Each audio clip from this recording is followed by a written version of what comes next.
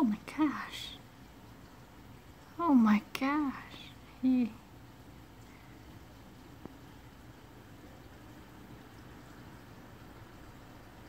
He got himself down.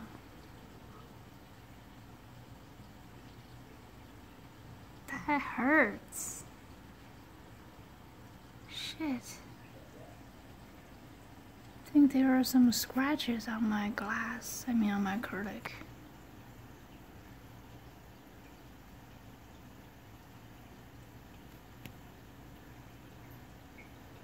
Shit, that must be from this guy here. I need to help him.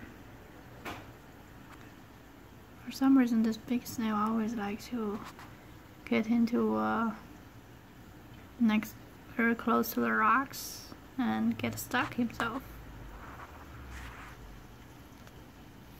Okay. And he also knocked down this leather coral.